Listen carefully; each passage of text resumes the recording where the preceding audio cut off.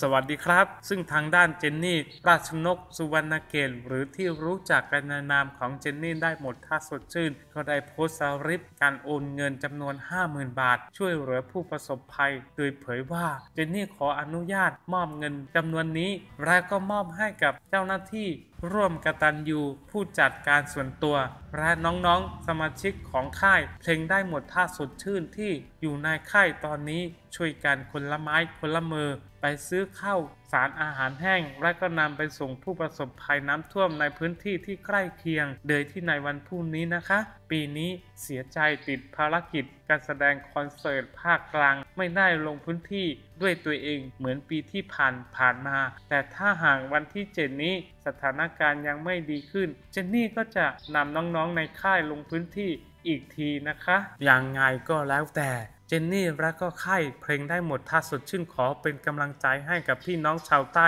ผู้ประสบภัยน้ำท่วมทุกท่าน ให้น้ำลดโดยเร็วและขอให้ทุกท่านปลอดภัย ได้รับความเสียหายน้อยที่สุดนะคะ สู้ๆไปด้วยกันนะคะ ท่าน